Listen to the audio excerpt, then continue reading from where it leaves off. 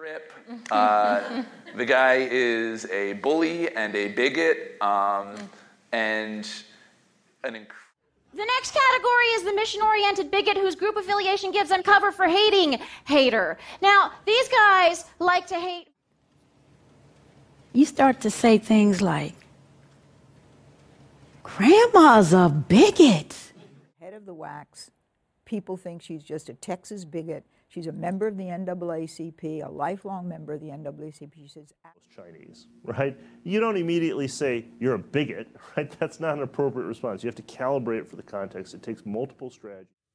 I was a fanatic. I was a legalist, bigot, ritualist, persecutor, hater of Jesus, hater of the gospel. You're going to immediately be labeled a hateful bigot, a, a Bible thumper.